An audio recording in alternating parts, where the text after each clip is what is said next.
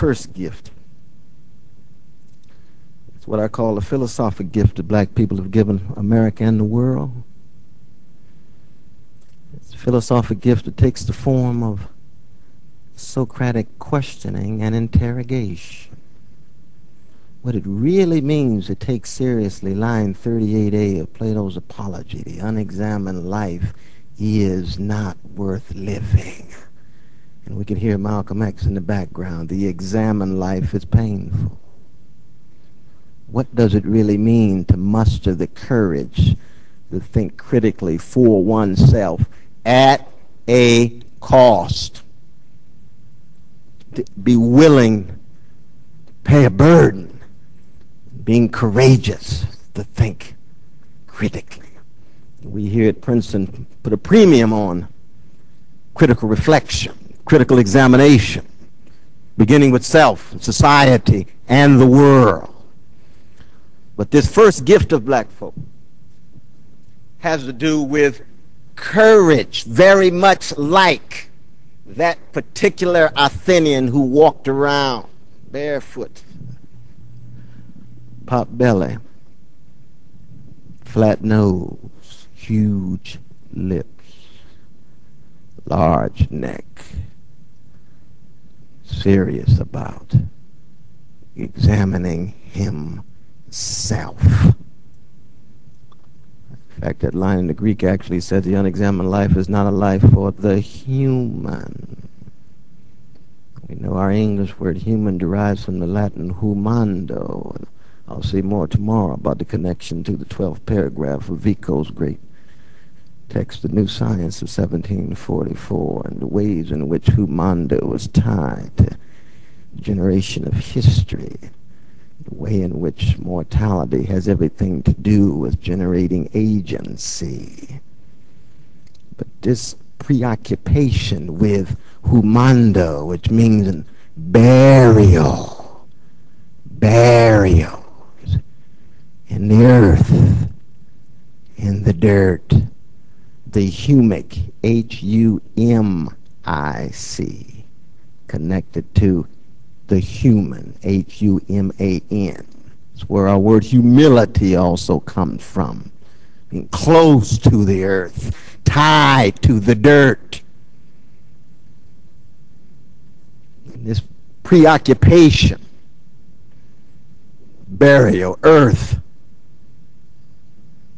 funk black folk have been willing to raise the most terrifying question in the midst of America's precious experiment in democracy, which is what does it mean to be human? Especially when your humanity is radically called into question given the vicious legacy of white supremacy, trying to convince the world that this particular slice of humanity is less beautiful, less intelligent, less moral. Here comes these folk saying, we're going to raise this frightening query to this civilization. We know that you're preoccupied with market activity. We know you're preoccupied with mobility. We know you understand yourself to be a land of liberty and freedom. But we have a fundamental question that people have asked down through the corridors of time. What does it really mean to be human, to be featherless, two-legged, linguistically conscious creatures born between urine and feces? And to know that our bodies will one day be the culinary delight of terrestrial worms. Who you're going to be in the meantime? How do you define yourself? Who are you really when you take off the mask? Who do you see when you look in the mirror? And allow those who perceive you as you look in the mirror to tell you something about yourself, especially if those who are saying so are those who you are standing, those who upon whose necks you stand. It's a very uncomfortable Socratic situation. It has everything to do with wrestling with death in its various forms. Of course, one could argue that there's a real sense in which America, understanding itself as a city on the hill, experiment that can solve any problem has no constraint, it cannot go beyond. No limits can constrain it. And we hear that every January in whatever you know, State of the Union put forward, be it Democrat or Republicans. There's no problem we cannot solve because we are American. See Professor Jeff Stout there. Is that right, though, Jeff? We hear it every year. And we say, oh, wait a minute. Du Bois raised the question, how does it feel to be a problem in African bodied in which it looks as if there's something here that remains difficult to come to terms with? And it's not just political. It has to do with mustering the courage to think critical about your relation to burial, to death and forms of death. And one of the fundamental gifts of black folk in the history of America is precisely that of raising that Socratic question of a love of wisdom that acknowledges it as a meditation on and preparation for death and keeps track of the forms of death in America's past and present. What do you mean, Brother West? Social death, American barbarity, American bestiality, American brutality called American slavery. 244 years hemispheric in, in, terms of the first presence of the Africans, 1619 1863. But for the first 79 years in the experiment, in, in the experiment of American democracy, social death, to invoke the category of that magisterial text of Orlando Patterson at the other institution of slavery and social death. What does it mean for a people to be on intimate terms with forms of death?